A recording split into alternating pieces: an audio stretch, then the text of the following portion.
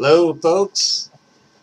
I am still on my Galaxy binge, and right now I am going after M81, Bode's Galaxy. And I'm only doing 30 second exposures with my luminance filter, and I've got a CLS, even with the CLS filter in front of it to catch some light pollution. Um, I'm, I'm, I'm, my ADU, my mean readout here, is still higher than I want it to be at 2296. But you know what? I'm going to go with it. We'll, we'll see what happens. Um, I'm going to do a lot of exposures. Um, when, I, when the exposures are that short, I need a lot of them to add up. And uh, let's take a look at my guiding. Uh, 0.45. That's about as good as it gets for me. Um, but I'm pointing to the north, and my guiding, like I've always said, is always better in the north. And uh, this one's going to take me probably two or three days to finish, and we'll see how it comes out. I will see you later.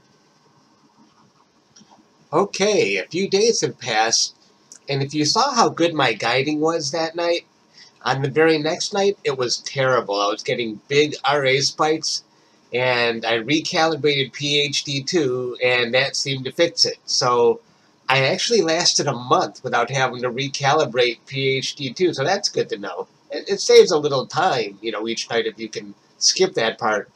The only thing that surprised me is that it, there was no gradual decline from good to bad. It was just good one night, terrible the next night. So yeah, maybe my polar alignment was off that night. I don't know. But anyway, uh, let's start looking at my data. In all, I had around 10 hours of data. Around 7 hours for Lum, that's my Lum data right here. And about 70 minutes each for RGB, that's my red data, my green data, and blue. And it looks pretty clean, so I can't complain about that. I remember, I think it was uh, my my last couple of Galaxies, I was using CLS instead of the lum filter, and it was really sort of, it had um, maybe reflections in there. The, the, background didn't look good on that data. But now I, am back to using Lum, but I do have a 2-inch CLS filter in front of all of these just because, you know, I think I'm borderline between a red zone and a white zone. Uh, I, I need some kind of protection for, for light pollution. And let's look at my other data now. So this is my RGB data. And uh, after I did a color calibration, it looked like that. So that's a little improvement. This was kind of scary looking. I didn't like the looks of this data at all, but the, the color calibration and background neutralization really helped. So um, that's that. And after I added um, luminance to it, it, this is what I've got. It, it came in, of course, as expected, a lot stronger. Um, still not very colorful, but I think colorful enough to work with.